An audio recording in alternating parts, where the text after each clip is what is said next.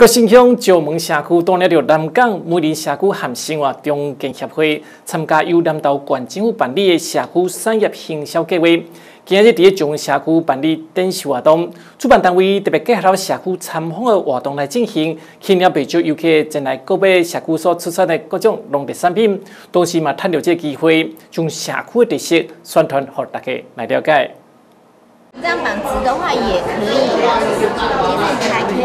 社区角度来边亲自体验客家冷染，后来住台北市北投区的游客是在了解国新乡石门社区古早时代传统产业文化。这届参访活动是结合国新乡社区产业行销计划展售会作为举办，现场展售地方出产的柑仔、咖啡、梅仔、甲手工艺品等，拢相当受到台北游客欢迎。呃，很有趣啊，有些东西我不认得，例如说以前我知道鼠狼是要用的影子，但是。我不知道他们还可以这个藤本植物，它的纤维抽出来的时候，他们可以做布料，对。然后像刚看到那个鼠狼的纤维做的围巾啊，或是他们的那个背带，哎，我觉得这很有意思。因为它的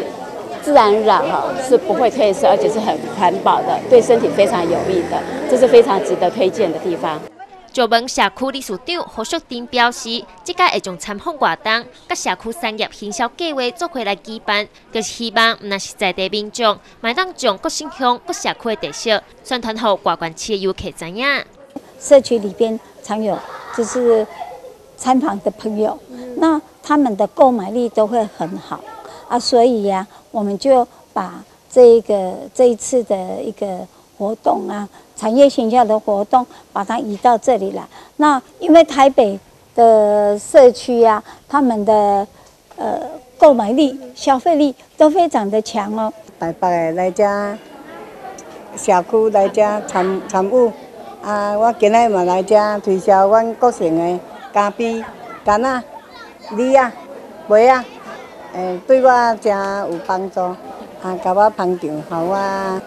探子叔叔啊，小钱。社区产业营销计划的目的，就是希望和同一个乡镇市内底的社区，透过团结合作办理活动，和所有社区农地产营销，都会当有更好的效果。即个结合社区产品来办理，嘛，互外地游客拢更加熟悉各县乡各地农地产。记者形式参报道。